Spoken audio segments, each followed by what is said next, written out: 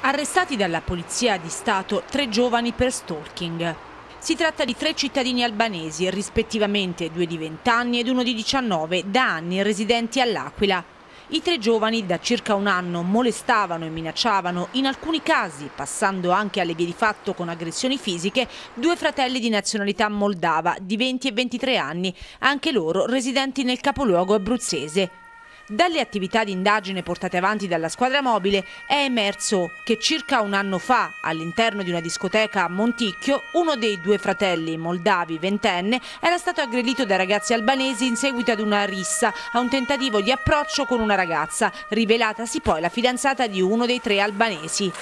Il giovane moldavo sporse regolarmente denuncia nei confronti del suo aggressore, che da quel momento però ha avviato una vera e propria attività persecutoria diretta anche contro il fratello 23enne del ragazzo, culminata ieri con un'aggressione con bastoni all'uscita della scuola di quest'ultimo. Il giovane, diretto verso il termine dei bus di Colle Maggio dalla sua scuola a Colle Sapone, è stato prima affiancato da una vettura con a bordo i tre albanesi. Successivamente ha subito un tentativo di aggressione da parte di quest'ultimi che hanno tentato di bloccare il giovane moldavo, ma il ragazzo, che si è subito reso conto di quanto stava accadendo, ha anticipato i suoi aggressori ed è riuscito a fuggire dirigendosi verso un'altra macchina in sosta con a bordo il conducente. Una volta nella macchina si è rivolto subito alla Polizia di Stato che è prontamente intervenuta.